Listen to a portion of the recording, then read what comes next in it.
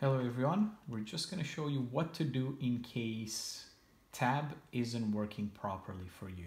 So this usually happens if the application that you're using on your phone or if your device is not that fast. So it means that the scanner is pushing out the information a bit too fast for your device to process it.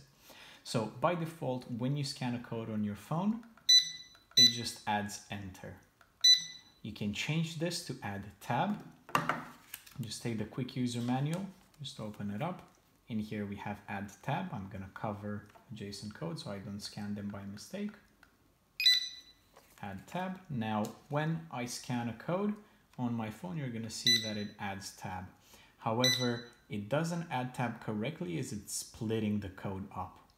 What this means, and this mainly happens on Google Sheets or any other phone that's slightly older and can't process the speed that the barcode sending the information at, what you can do is you can email the guys at ScanAvenger and they'll send you a set of codes which you can then scan to slow down the transmission speed.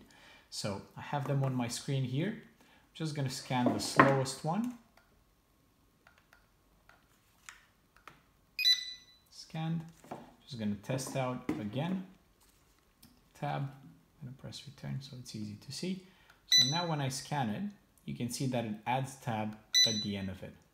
And it doesn't split up the code. It looks a bit too slow, so I'm just to speed it up a bit.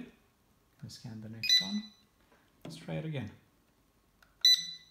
Oh, that's a bit faster. And again, it's working perfectly fine. So that's good enough for me. That's what I can use on this phone. That's it. It's as easy as that to fix. Thank you very much.